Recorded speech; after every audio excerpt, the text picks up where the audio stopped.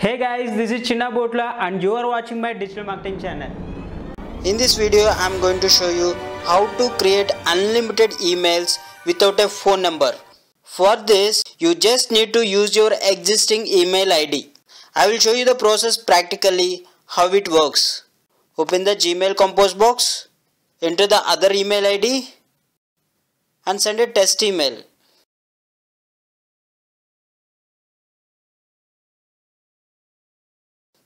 Yes, received the test email here. Now I will show you the actual process to create unlimited emails. Open the Gmail compose box. For your existing email ID, add plus and enter the numeric digit 1. Now send a test email to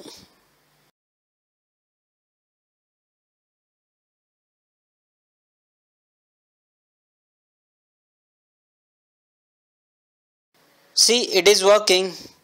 Yes, got it. So it is working for all the digits. Now let us try with any random number. For your email ID, add plus and put any random numbers.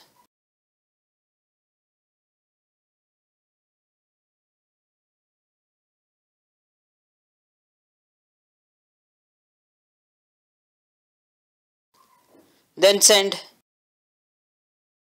Let's wait for the email. Yes, got it. So it is working for all the numeric digits.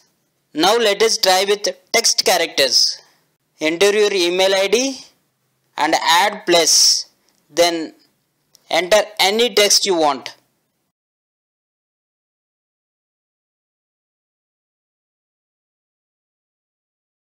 Now send.